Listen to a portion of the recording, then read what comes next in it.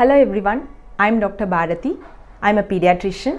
This is Dr. Bharathi's Kids Care. I welcome you all to this channel.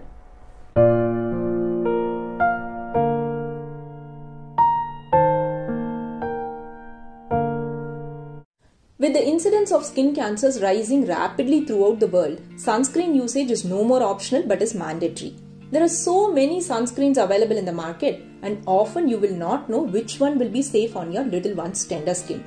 Let me now tell you the points you should remember before choosing a sunscreen for your kids. Point number 1 The SPF. SPF is nothing but the sun protection factor. We all know there are three types of UV rays the UV A, B, and C. Of these, only the UV A and B rays reach our Earth's surface. Both these rays together cause most of the skin damages. SPF is a measure of how much protection the sunscreen offers against the UVB rays.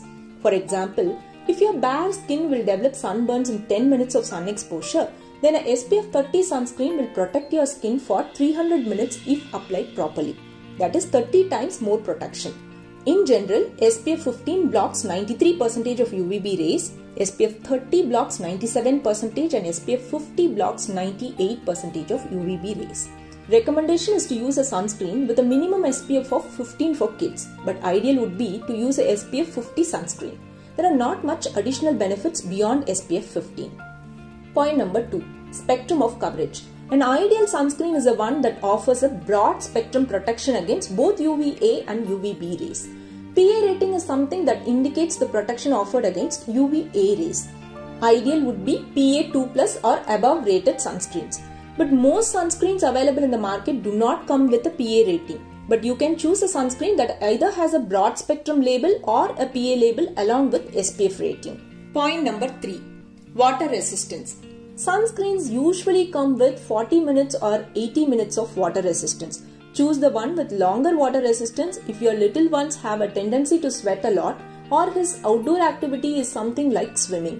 Point number 4 The type of the sunscreen. There are two primary types of sunscreens chemical sunscreens and physical or mineral sunscreens. The chemical sunscreens contain certain carbon containing chemicals like oxybenzone, octinoxate, avobenzone, homosalate, etc. They absorb the sun's UV rays and convert them into heat by a chemical reaction and release the heat from the skin. The physical sunscreens contain natural minerals like zinc oxide and titanium dioxide. They act just like a shield and reflect the UV rays from the skin. Let us now see what is the difference between these two types of sunscreen for you to choose the best one for your kids. First point is that most of these chemicals protect only against UVB rays. To achieve a broad spectrum coverage in a chemical sunscreen, more chemical components are needed.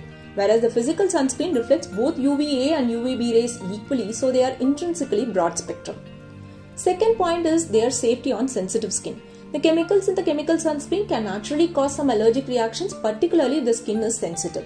But the minerals like zinc are generally very safe even on sensitive and tender skin like that of kids. Next point is their absorption into the skin after application. Chemical sunscreen reach the deeper layers of the skin. Sometimes they are even minimally absorbed into the blood. Whereas the physical ones just stay on the surface of the skin, nothing goes into the body. Since the chemical ones penetrate into the skin, they do not form a white layer on the skin, so they are cosmetically superior. On the other hand, the physical sunscreens form a dense white layer. But as far as kids are concerned, this shouldn't be a big problem as they will actually look much cuter with that white coating.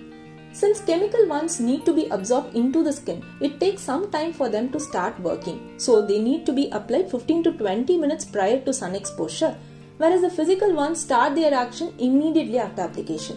But for the same reason, the chemicals are not easily washed away by sweat and water, whereas the minerals that stay just on the surface are easily washed off by sweat and water.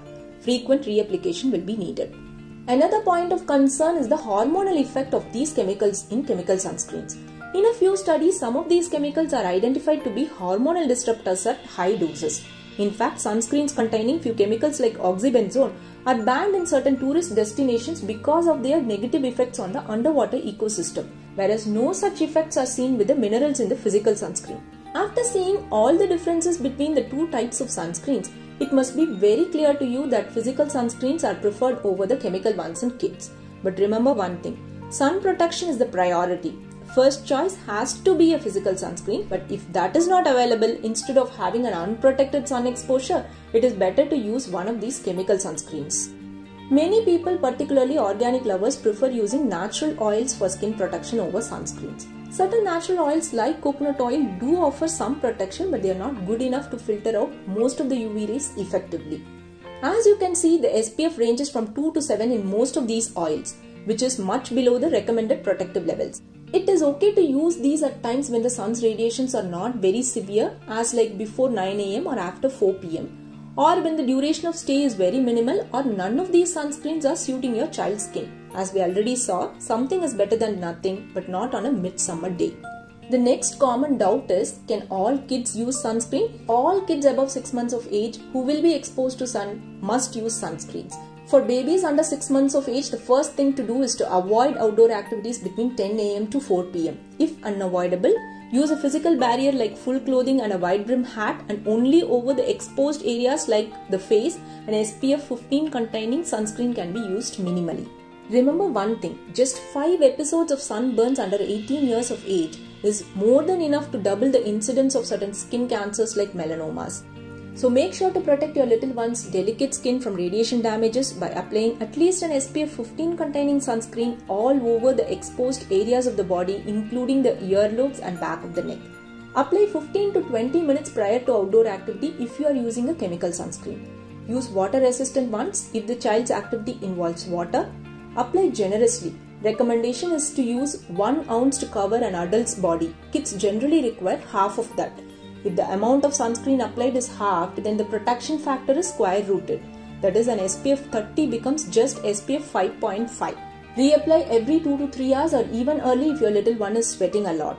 Remember one thing sunscreens are not singular protective barriers against skin damage. When used along with proper clothing, playing under shade, and avoid peak radiation timings, you can protect your little one's delicate skin from damages. For complete sun protection details, watch our summer health tip video 1. The link is in the description box. Thank you.